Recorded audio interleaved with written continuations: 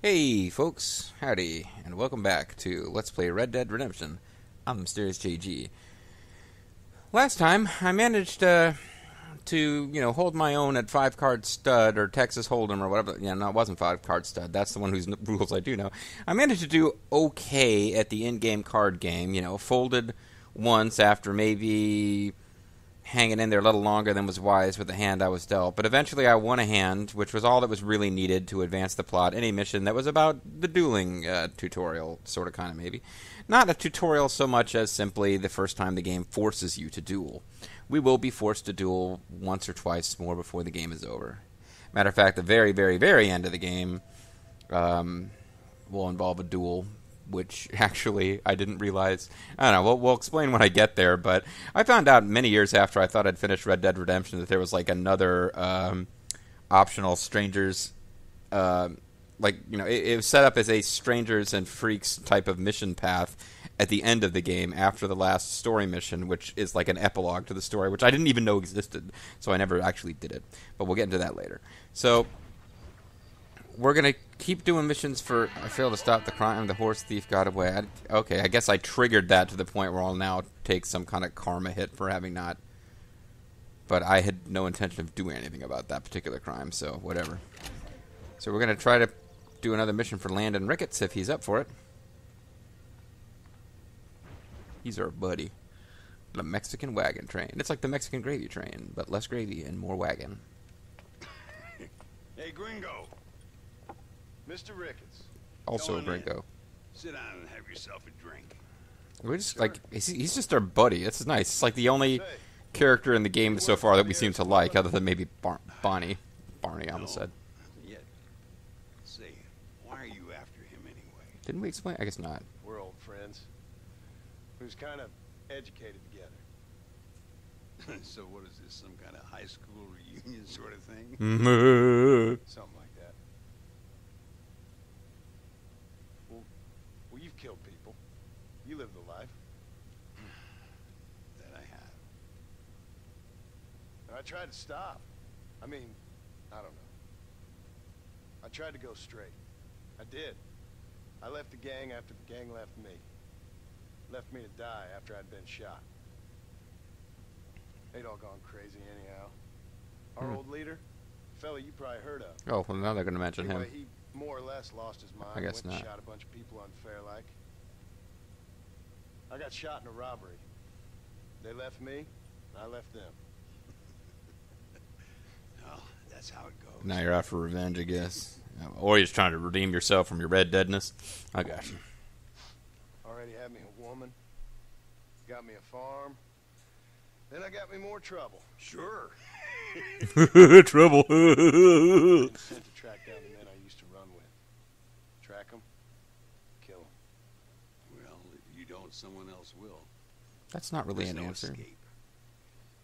Look at me. I spent 25 years killing men. Before I finally decided what I loved was killing women. Sitting around here like some low-rent would-be messiah. Or a drunk. We're relics. Come on, have yourself another drink and let's wallow in a little self-pity. Sounds like a plan. It ain't getting Williamson killed. Mr. Ricketts. Hey, is that Luisa? I found you. And you, Mr. Marston. Please sit down. Yeah, we haven't met her yet. How come she knows us? I'm well, sir. But Allende is sending more men to the death. Prisoners who have not been tried. A prominent writer, Castilla, and a local official whose only crime was not putting the small holders on the street when they were late with taxes. Writers and government officials. Whoa, you're, you're, you're a close talker. what, what's going I on? was just joking. Where are they? Who's this guy sitting on my lap, literally having me penetrate him right now? Self-pity and go shoot ourselves some bad guys. It'll be all right. Oh, I was too distracted by that to be concerned with the fact that the plot is forcing us to work against the Mexican army here. When I was really interested to see if I could possibly just totally side with them, even though they're clearly wrong. All right, here we go again. Penetrating more people who are not supposed to randomly populate on that chair during a cinematic. It's his fault. Clearly, there's a cinematic going on.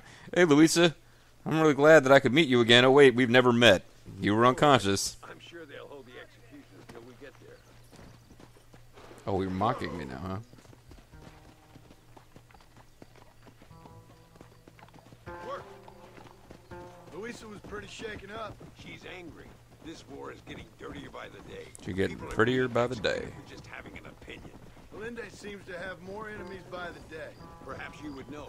Rumor has it you've been making all kinds of new friends. I don't pay much attention to rumors. Just be careful, John.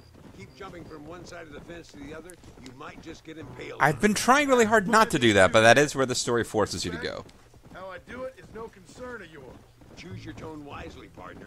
Remember who you're talking to. I'm the guy who keeps forcing you into duels. John Marston, apart from a rat feeding every other hand he can find, my name means something. All you've done is kill a few peasants, and the only real outlaw you've taken on dropped you like a bad habit. Hmm. Now, I'd politely ask you to watch your tone, Ricketts. All I'm saying is, maybe there's a reason why people around here don't want to talk. Hmm. You must miss your family. It's the only thing that keeps me going. That and hanging out with you, friend. A lot of myself. How I used to be. Stubborn and angry. And having a family. changed all that much. I always thought I'd lived a charmed life. I've known... Look! It's an army convoy. I think I see the prisoners in those wagons. This is our chance. See if you can take control of that first wagon.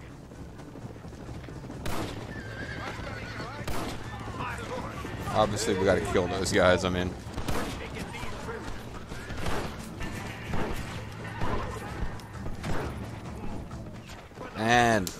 got it. Got into too much trouble too early. No, I could see. Uh, yeah, this is. I guess you got to be smart in the sequences to take these guys out. I don't. I just am not big on using red eye, a dead eye. I find that if you're a little bit lucky, see now they had more dialogue to go through. Prison wagons. That must be It was weird timing that. Like we couldn't have gotten through all the dialogue they wrote for these guys. Oh, you're not dead. That was part of the problem.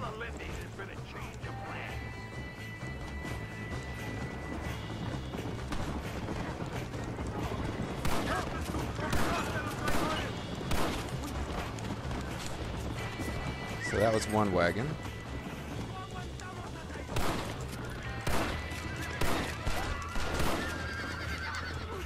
Now I gotta hurry up and get this one before it gets.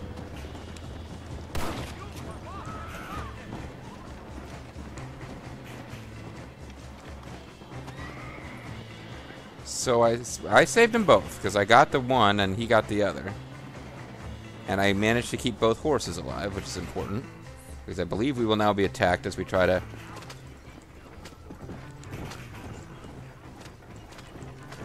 We're going to America today.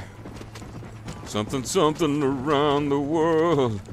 We're coming to America. Something, something, don't know the words. We're coming. But when we get there, there's a beautiful, classy wall that's been erected. And the Mexicans paid for it. It's a historical game, not a sci fi game. This is a Mass Effect Andromeda, which is set long after the days of the Trump presidency and its beautiful wall. Okay, I was expecting to be attacked, but, um. So far, it ain't happening. Feeling that once I reach a certain point, yeah, I don't think there's a point in rushing, because I think we are going to get attacked when we reach a certain location. See, this is what I always find if you, uh, if you do the, um, the auto aim thing. For me, it usually works just as good as Deadeye would. Guy with the Gatling gun, I don't really think it's worth messing with him. But we're in America now, so the Mexican army really should stop. Okay, now we've given the Mexican army plenty of reason to, to betray us and, you know, be evil, which I've hinted at strongly enough. Assuming that they know it was us that did this. Are you the prominent writer guy? Are you the tax collector, whoever? Okay. As long as we got the two prisoners we were supposed to get. Oh, and he he got the other one through. That's good. No, this is going to take the prison cart. No thank yous or anything. Now, we'll handle it from here. I know you got other matters to attend to. It's been nice riding with you, Mr. Ricketts. And you too. You took me back to another time. When I used to rescue prisoners. Luisa. She'll help you, and she's well connected in that other land. I hope you find what you're looking for, Marston. This is it for him. He's You know what gone. I'm looking for. You know what I'm looking for? A little bit of that split tail. You know what I mean? No. If you say so, Marston. If you say so.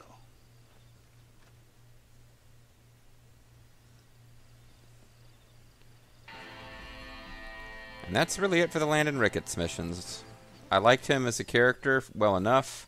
I remember thinking years ago that as I played through this game, I liked John Marston. I found some of the people that he was interacting with to be entertaining characters, but it kind of bummed me out that Marston did not appear to have any friends.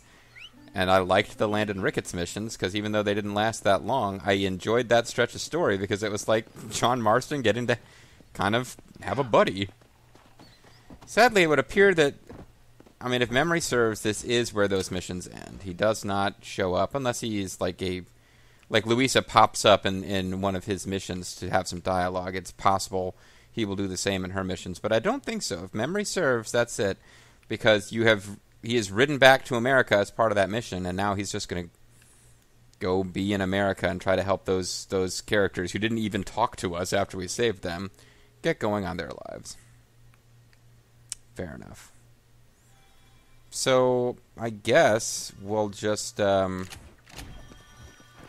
find some place to strike a camp so we can save our game, and then move straight into doing missions for Luisa.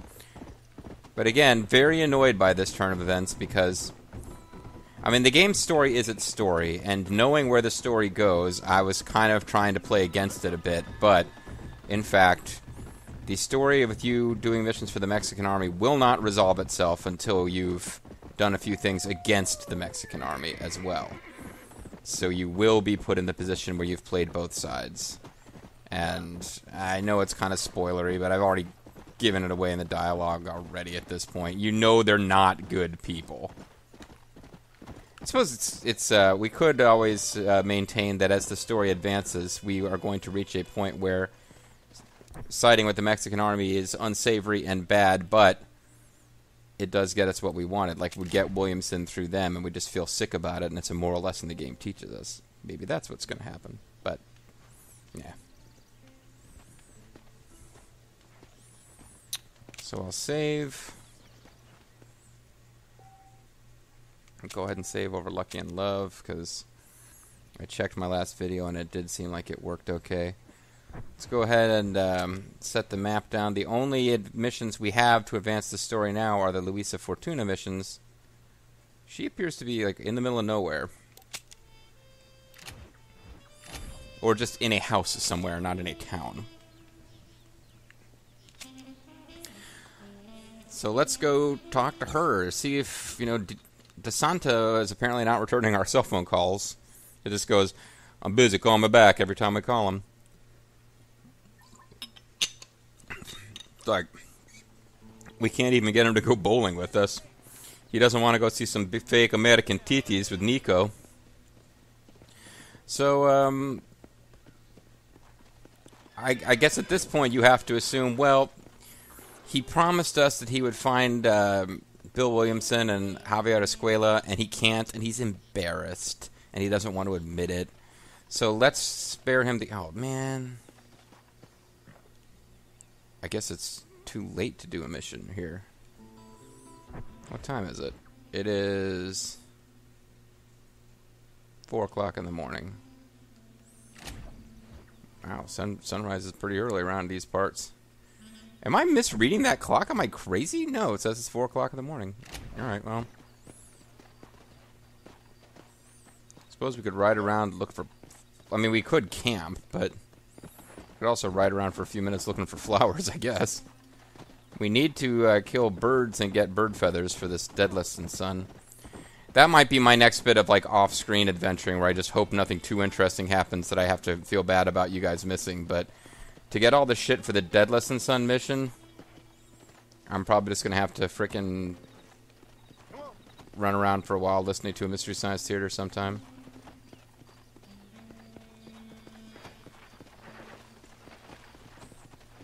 But sure enough, she just has like a little uh, little house out here. There's people coming around and driving by. It Appears to be some outside interest in the place, but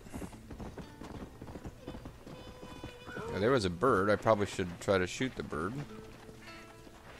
Because I was just saying that I need feathers.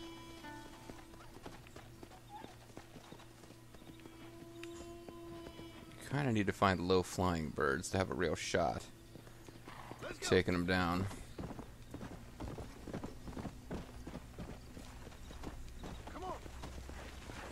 That horse had pretty impressive effort to climb that thing that didn't quite make it.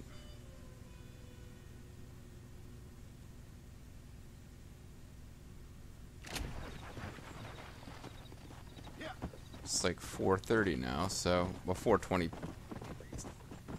4:20. Hey, wait a minute. What, what is that true? Is it? Oh, it's 4:27. For so we missed 4:20, dudes. I saw a bird's shadow and got all excited. Honestly, one of the easiest ways to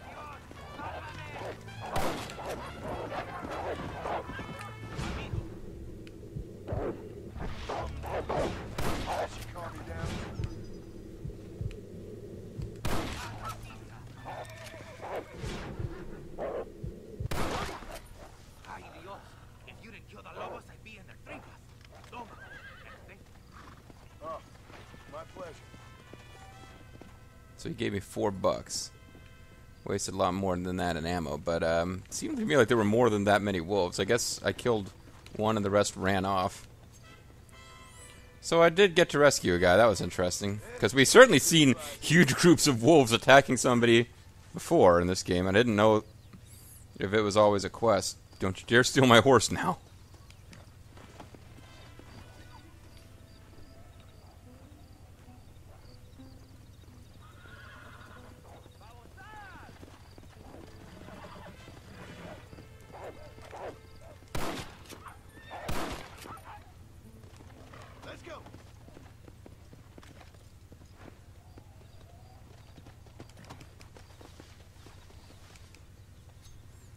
Seemed like there was another one I didn't skin. Or at least there is on that little mini map. What did he say? Did he say that stinks? So- He said something and then he went ha ha ha. Yeah, there's like another one over here.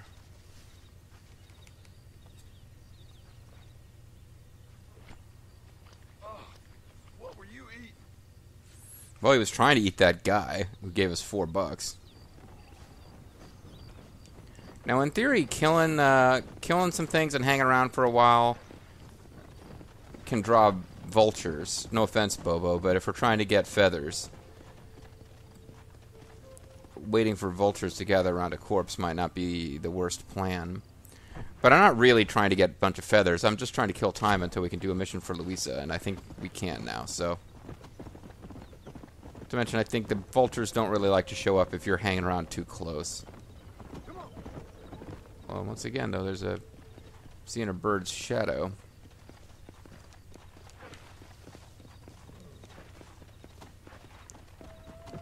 Hello, ma'am. I thought I'd call on you around four o'clock in the morning, but then figured, nah, I'll give you another hour. Oh, hey, there's chicken. Is that going to give me a feather? It's still not between five. I. I was pretty sure it was. Um, all right, as punishment, I'm going to kill this chicken. That's obviously part of your livelihood. Should get a chicken feather out of this. Chicken feathers times four. All right.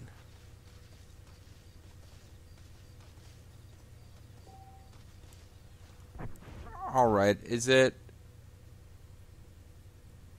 Oh, between and 2 p.m. Oh, it must be after 2 p.m. It did seem awfully bright for 4 o'clock in the morning. Okay, I'm an idiot. All right, all right. So basically, it was 4 o'clock in the afternoon, and she's she's clocked out for the day.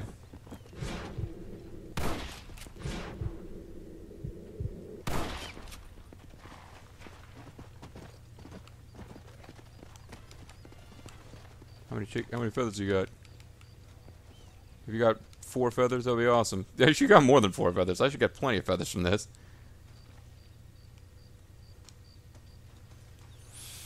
What do I actually need for this Deadalus quest? Maybe I can actually. Uh,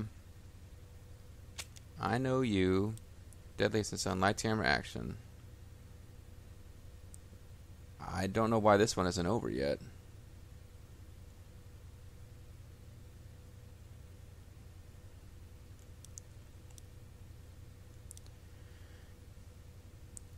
Twenty feathers, five oh beaver furs and red sage. All right, so the this one really has to wait anyway because the uh, the northern section of the game is the part that unlocks after we've dealt with the Mexico storyline.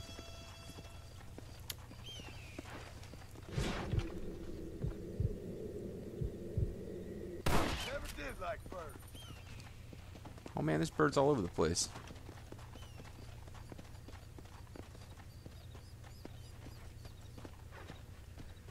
I realized as I shot that he was kind of ugh. He's flying in a really awkward kind of place for us, where he was flying out over a cliff.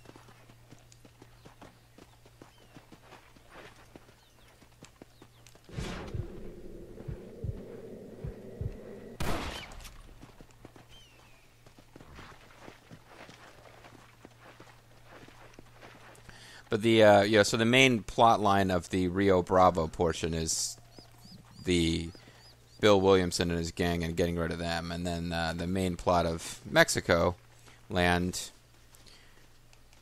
Well, we have to deal with Javier Escuella, and whom we haven't even encountered yet.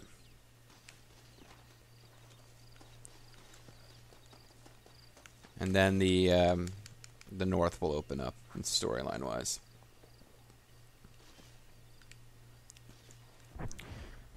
But seeing as I just got four sets of feathers from each of those animals, so the 20 feathers was not as crazy as I thought it was going to be to collect. I thought that was going to be a huge deal to, to get. Um, as it is, I've got two songbird feathers, I got four red sage, I got 20 hawk feathers. So I've already got enough feathers. Even without the uh, chicken feathers that I collected. But we've only got four red sage. So we need 10 red sage, 10 red sage and 5 beaver furs. So in theory if I encounter um, Rio Bravo, is that in the is that in Mexico Mexico land? No, it's not. So um, eventually, I'll need to go flower hunting up here, so that when it's time to come up into the um, tall trees area,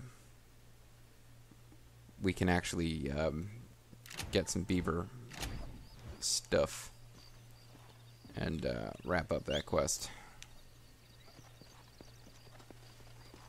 In the meantime, clearly, we're going to need to find some place to save our game to advance time to do this mission for Luisa, because this is the only thing that we can actually do around here to advance Deadalus and Son is the only thing that we already have enough of, which is feathers. So we'll throw down a campsite.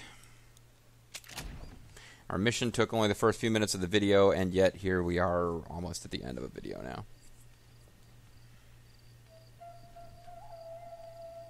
It might just be best to just go ahead and save the frickin' game at this point. And uh, maybe even just call it a video. Our last video was going to be over early, but I ended up getting all chatty. It's the middle of the night, so if we save again, we'll advance time another uh, four hours or six hours or however it works. Basically, we just spend an entire day just kind of hanging around in this uh, in this zone here, killing time, waiting for Luisa Fortuna to get back from uh, her shopping or whatever the hell she's doing.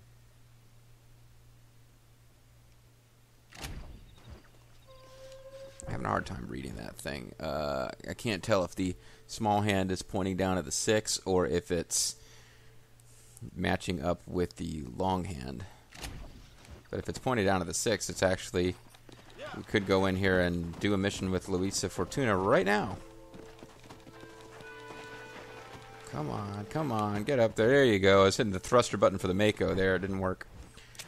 Uh, yeah, so let's call it a, a, little bit early. As far as things to do to advance the story, I like like you will meet Luisa Fortuna as a character. She's she's a perfectly likable character. I've just been trying to avoid her missions to see if we could really commit to the side of evil and darkness. But obviously, the people fighting the Mexican army are the ones that you're supposed to be rooting for here. So when we come back next time, uh, we will, in fact, see what we can do to help La Revolucion.